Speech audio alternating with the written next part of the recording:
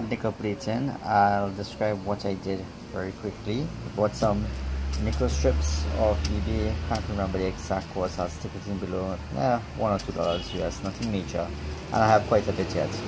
I've taken that and I've put them in three of them, well two initially, and then a third one inside some hydrochloric acid, muriatic acid.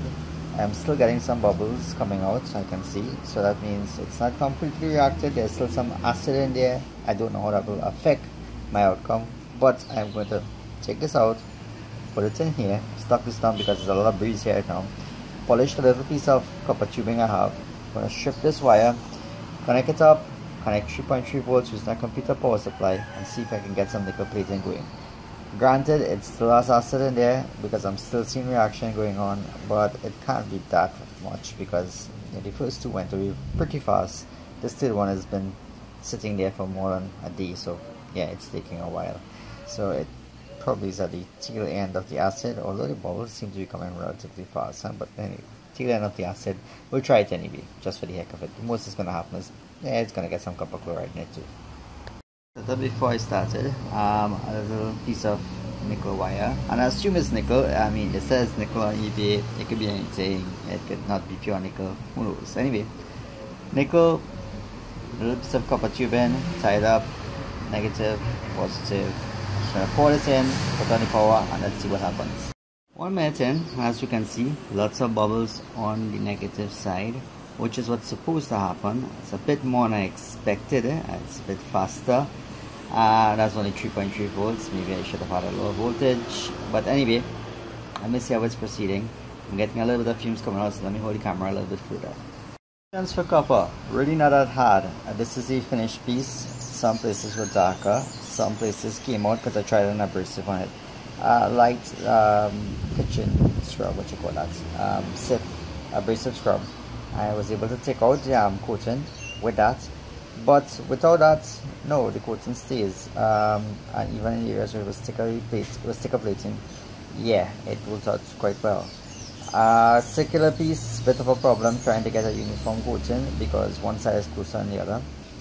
This thing got eaten out way faster than I thought it would have. This is that piece is falling in it's melted out and this piece of not quite a bit of it just tipping it in. So it's you know it's taking a lot of nickel out it's fairly fast. I don't know if it's some of it is going in solution or all of it end up here. If all end up here well this side that looks thick has to be a lot thicker than I think. Uh, the other side as I said some abrasive and you can clearly see the copper below. So the next step is let me try a piece of steel. I got some old piece of steel from this is an old uh, clip. Let me just pong this out put a little emery on it to get it uh, fine. And we'll clean up the mess. And then we'll see. Can I nickel plate steel? And that's probably more important than nickel plating um, you know copper because copper doesn't really corrode but steel does. So let me see if I can get this to work. This is the item before.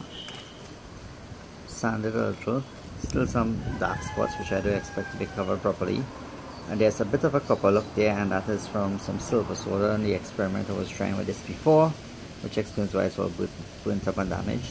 But all the zinc plating should have been gone from this. If it isn't as soon as it goes in there it will go because hydrochloric acid that remain in there will react very violently with zinc. Um, notwithstanding we should have a before and after because I will not be able to get much of this inside there. Probably a little piece I'll bend at this point. I'll stick that in and yeah let's see how it goes. Let's see how well it covers it. And yeah, let's see if it's included. I'll probably leave it out too and see if it rusts after with the unplated piece and the plated piece and see how it fares in the weather. Although that most likely will not be in the video. That's interesting. Uh, this wire was used to hold a piece of uh, nickel and you can still see a little, little piece of nickel at the end of it and yeah it was probably too much. I didn't really want to stand there and hold it. And it's a crappy arrangement and very poorly put together setup. So yeah.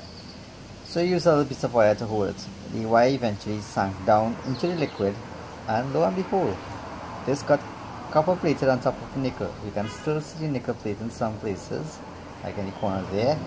You can still see it possibly here but it then got copper plated uh, and that is one of the things people mention that um, you know copper already holds on well to nickel. So the best thing to do is nickel plate steel and then copper plate it.